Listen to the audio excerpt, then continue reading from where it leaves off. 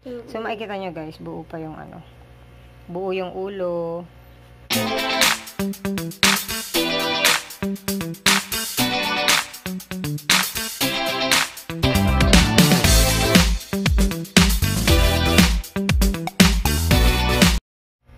Yay! Nag-shed na rin po si Dylan. Ay, oo nga. Parang white pa yung dulo ng tail niya. Nagsished pa lang. Bakit sa hide sila nagsished? Di ba pati si Hailey, nag-shed din sa loob ng hide, kaya crumpled yung ano nila. Hmm. Iangat mo siya. Di pa matapos yung shedding niya? Di pa tapos? Tapos na. Nadadagan na niya lang yata yung skin. Hindi, tail niya nasa loob. Hmm. Ah, ayun. Nasa tail pa nga. Ayan na, tatanggal na. Sakto siya nagsished. Ayan na. Ayan, andun ba sa dulo? Ayun. Bili na. Alisin mo na. Sakto nag-shed. Hindi nila yata marak. Ay, kaya na. Hindi pa sa dulo yung nasa dulo ng tail pa yung baby pull na. Tatabo. Dylan, pull mo na.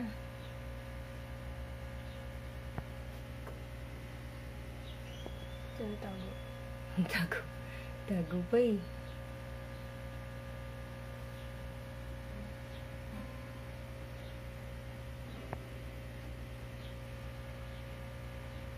Yun. Yun na.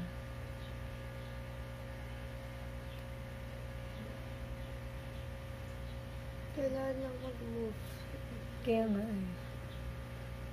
Yan. Eh, tulungan mo na. Kunin mo na yung skin. Tingnan mo, nag-ano tuloy yung ano, yung skin, parang socks. Nag, ano, hindi siya yung straight. Um, si Hailey parang medyo straight. Pero yung kay Hailey, parang putol-putol. Kaya, Putol-putol ba yung kay Hailey? oo.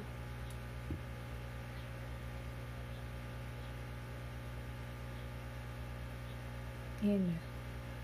Lapit na. So, check ko kung may stock siya.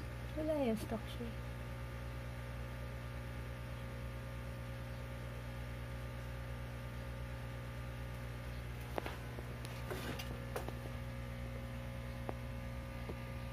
May pinupush niya sarili.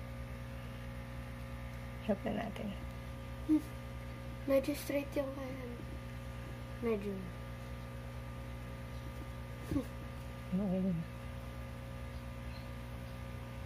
Oh, Ibo. Yay! Dali, tanggalan yung dulo. Yun, ah. Oh. Ayan, nag-roll tuloy. Dali. Ay, nag- ayusin mo. At least straight. Oo nga. Eh, maano mo pa yan, ma-unravel mo pa yan. Dahan-dahanin mo. Ang kulit ng ano yun. Malaan ko yung isang kamay. Ha? Ah, sige. Itakpan mo muna. Dahan-dahanin mo. Parang socks, di ba? Pagka naka-roll yung nag-roll yung socks. Wait lang. Ito, ito pala ilyo. Ganun-ganun lang, oh. Hindi naman siya nasisira. Dad! Ayan. Ang kulit. Ayan na. Okay na. Ang galing. Oh, straight na yung kay ano. Wala yung mata. Wala yung mata. Hindi kita yung mata. Parang naputol siya. Parang putol siya.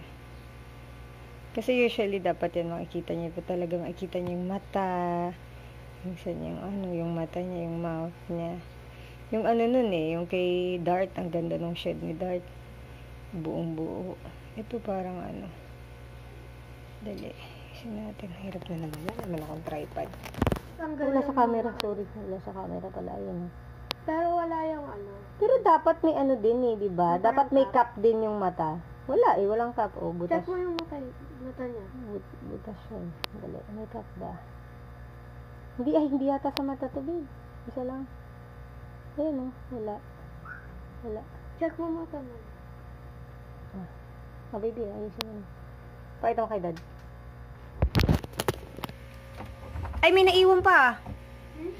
Wala, wala. Ito pala, yung sa ulo niya. Ayun, andito. Andito ang cup.